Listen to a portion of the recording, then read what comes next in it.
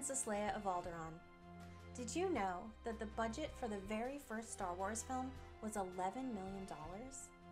This was small for a science fiction film of its kind, and in order to stay under budget, the filmmakers got creative by shooting impressive special effects using fireworks and homemade model kits in unusual locations, like parking lots and basements.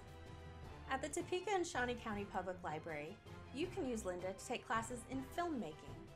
Just go to the Research It tab on our website and click the link titled lynda.com to get started.